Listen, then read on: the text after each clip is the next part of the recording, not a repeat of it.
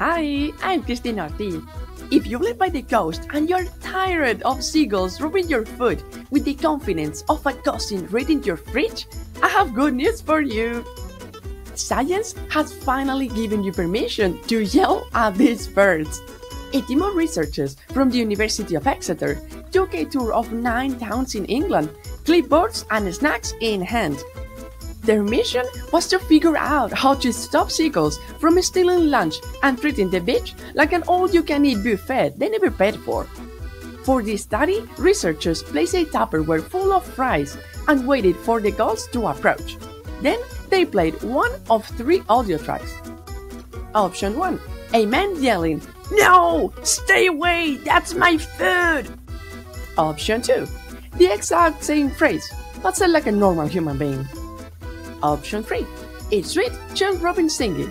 Uh, basically, nature's elevator music. Almost half the gulls took off the moment they heard the shouting. The normal voice only made them back away, like avoiding a noisy neighbor. And the robin song? 70% of the gulls stayed right there, probably thinking, oh, nice vibe, thanks. But here's the twist all the recordings had the same volume, so the birds weren't reacting to loudness, but how the men spoke. This means seagulls can pick up on tone. The researchers weren't trying to ignite a federally war war. The birds are hungry like the rest of us.